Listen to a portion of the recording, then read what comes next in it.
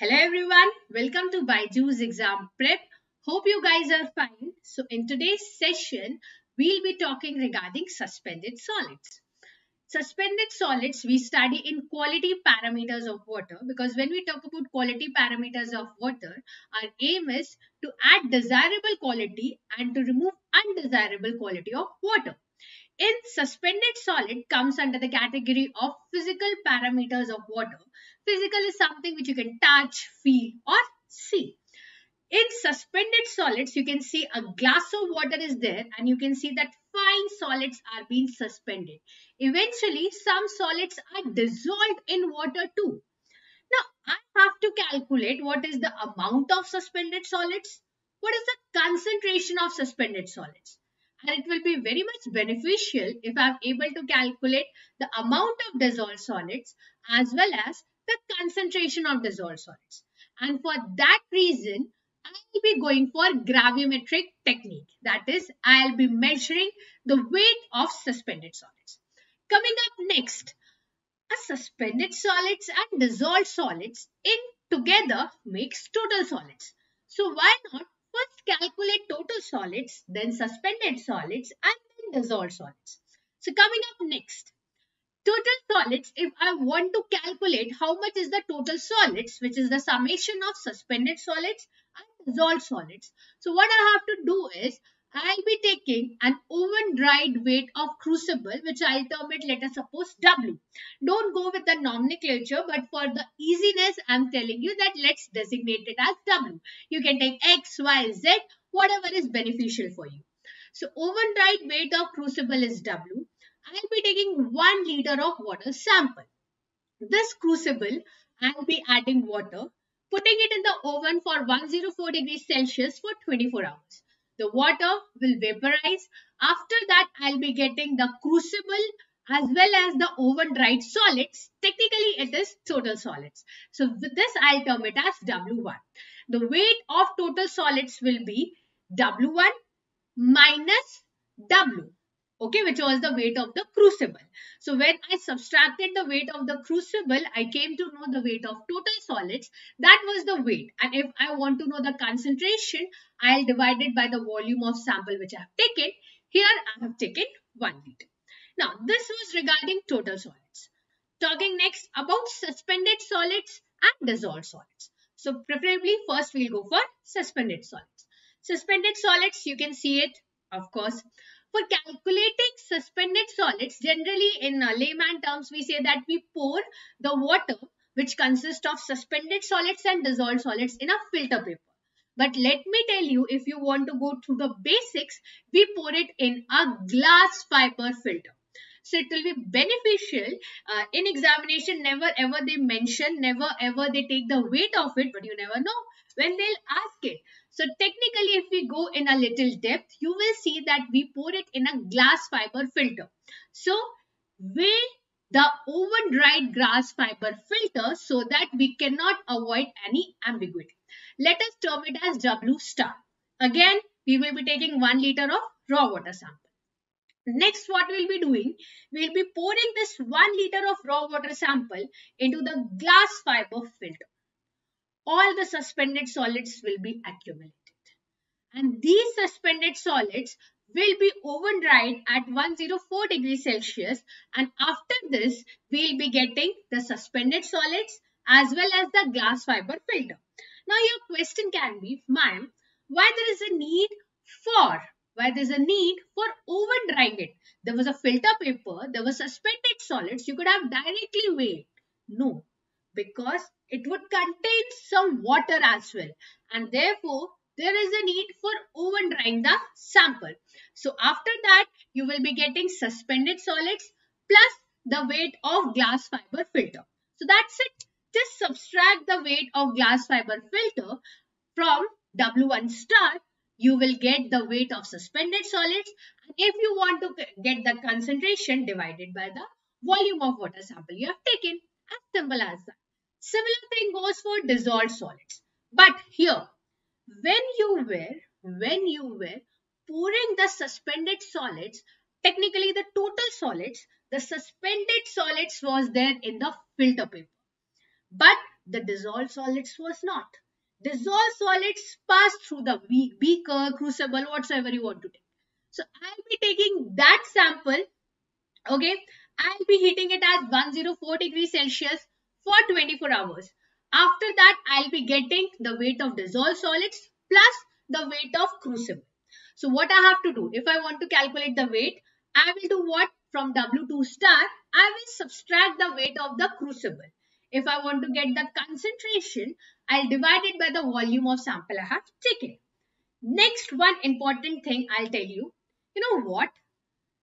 Technically, we say that we are measuring suspended solids. Technically, we say that we are measuring dissolved solids. But let me tell you one thing. All the suspended solids are not retained in the glass fiber filter. All the dissolved solids are not passed there will be some sort of minor dissolved solids which can be present in the filter paper. There are chances for that. Okay. So yeah, that's the thing which you should know. Now, coming up further, so that was very basic. We calculated suspended solids, we calculated dissolved solids, and we calculated a combination of them that is total solids. Now coming up further, I want to go in a little bit more deep. I want to know out of this suspended solids, how many are organic in nature? Out of the suspended solids, how many are inorganic in nature? Okay, you told me broadly that I'm talking about suspended solids, but I want to go in further detail. So let me tell you a few things before we proceed. When you talk about suspended solids, suspended solids, and in that, if you talk about organic solids. So, organic solids are volatile in nature. That's why in examinations, when you go, they write it either organic solids or they mention it as volatile solids. While inorganic solids does not have a tendency to vaporize, so they are called as inorganic solids, they are called as non-volatile solids, and thirdly, they are also called as fixed solids. So in any manner, they can ask you. Okay. Now, I want to calculate it. But what do you mean by organic? Organic compounds are uh, those compounds. I'm just avoiding the exemptions and all. I'm telling you the ones which are we predominantly use. So when you talk about organic compounds, they are those compounds which consist of predominant basis carbon in it. So we have polymer chains and all, we have paper, we have soap. These are organic compounds. Next, if we talk about other inorganic compounds. So inorganic compounds is like table salt, NaCl, sodium chloride, hydrochloric acid, carbon dioxide. So these are inorganic compounds. Just for your reference, predominant basis carbon is there in organic compounds while inorganic carbon or carbon is not there in inorganic compounds. Avoiding the exceptions. Okay. Now, I want to calculate how much suspended organic, how much suspended inorganic, how much dissolved inorganic and how much dissolved inorganic. How should I calculate? And there we go for muffle furnace. So you could see this muffle furnace in the next that here muffle furnace is there. Okay. So muffle furnace when you talk about in muffle furnace it has the capacity that it can provide high temperature 600 to 650 degrees Celsius. You can see it. So now what happens? I want to calculate. I want to calculate the organic, inorganic, technically volatile, non-volatile, or you can call it as volatile and non-volatile, you can call it as fixed solids also, or inorganic solids also. So now what happened?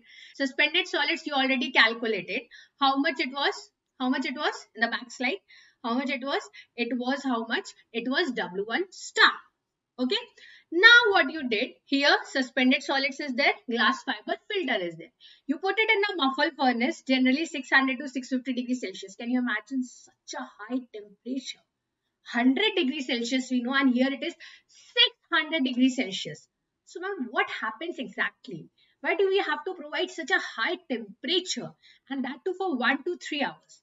The reason is while you provide such a high temperature, organic solids will vaporize inorganic solids will remain. So what will be happening? There will be volatile suspended solids as you can see. Volatile suspended solids are there. So the weight of the fixed suspended solids because they are only remaining. So obviously you will be able to measure that only. So the fixed suspended solids or non-volatile solids or inorganic solids along with the glass fiber filter are there which will total make W3 star. So if you want to get fixed suspended solids, just subtract the weight of glass fiber filter.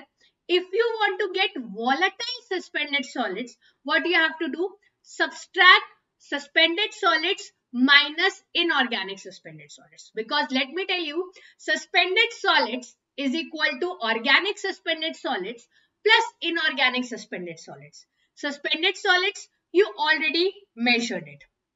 Okay, which you called it as W1 star. Now, out of the suspended solids, you were able to measure the fixed suspended solids. Why?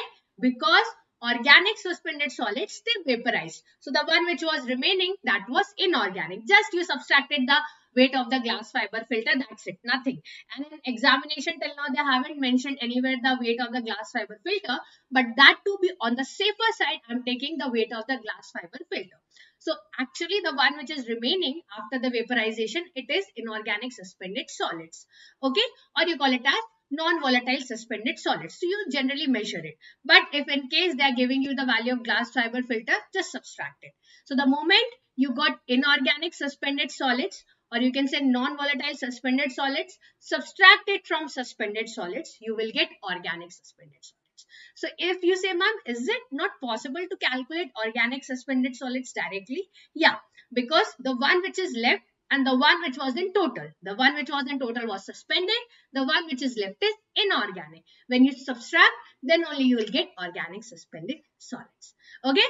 So right now I told you suspended solids, suspended organic solids and suspended inorganic solids. Now coming towards the dissolved solids. Now, when you talk about dissolved solids, here you have taken the oven that crucible was there in which dissolved solids was. okay? You'll again put it in the muffle furnace one uh, here also 600 650 degrees celsius 1 to 3 hours. What you will be getting here again organic dissolved solids will vaporize inorganic or fixed dissolved solids will remain along with the weight of the crucible which you will term it as w4 star so now what you have to do if you want to calculate non-volatile solids just subtract the weight of the crucible you will get the weight of dissolved solids, fixed dissolved solids or inorganic solids or you can call it as non-volatile dissolved solids. So what you did just subtracted the weight of the crucible. Similarly, if you want to calculate volatile dissolved solids or organic solids because volatile or you call it as organic solids, what you have to do, total dissolved solids value you initially calculated, just subtract inorganic solids from it. Exactly like you did for suspended solids because dissolved solids is the combination of organic dissolved solids and inorganic dissolved solids. Inorganic dissolved solids you already calculated that is non-volatile solids. You already measured it by gravimetric technique. So what you have to do? Dissolved solids minus inorganic dissolved solids will make organic dissolved solids.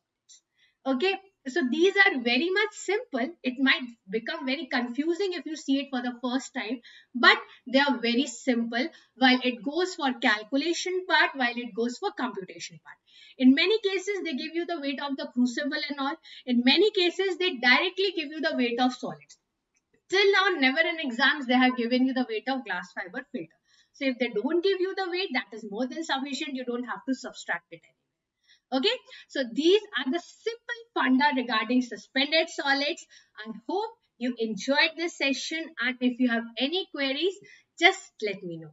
Similarly, here the upcoming sessions you'll be having for screening, sedimentation and then we'll be having a practice session for environmental engineering. Okay, so that's all for today guys. Take care of yourself. Bye bye, good night and study hard.